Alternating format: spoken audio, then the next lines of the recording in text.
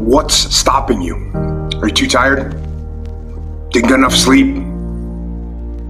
Don't have enough energy? Don't have enough time? Is that what's stopping you right now? Don't have enough money? Is that the thing? Or is the thing that's stopping you you? Excuses sound best to the person that's making them up. Stop feeling sorry for yourself.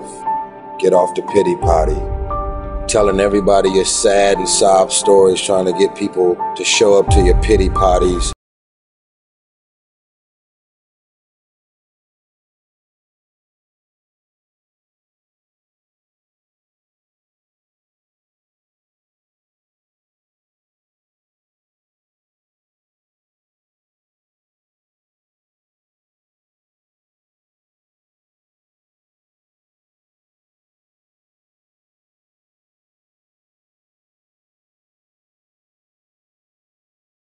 Country and your community. You got a problem with your life, you got a problem with your environment, do something about it. If you want it, go get it. Recognize the excuses are not valid.